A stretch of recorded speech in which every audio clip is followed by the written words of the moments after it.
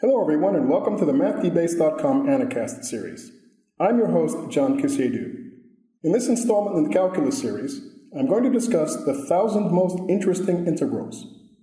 Though algebra, geometry, calculus, and later number theory and group theory are usually studied as separate branches of mathematics, most students don't realize that these seemingly disparate fields are intimately interconnected. Periodically throughout this series, I will explore some of these interconnections so let's continue with interesting integral number 997. First, let's rewrite the integral by factoring the numerator to get two factors, one of which is the same as the argument of the radical in the denominator. We will make a u substitution using the argument of the radical. Let u equal x plus 1, then du dx will be 1.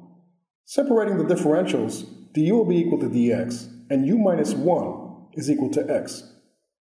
Rewriting the integral in terms of u, x will be replaced by u minus 1, u by x plus 1, and the radical downstairs by the square root of u, and the x by du. Rewriting the denominator in exponential form, dividing, then simplifying using the properties of exponents. Now we just have the difference of two terms and can apply the difference in power rules, which simplifies to and converting back to x's using the original substitution, replacing u's by the quantity x plus 1, then converting back to radical form, we get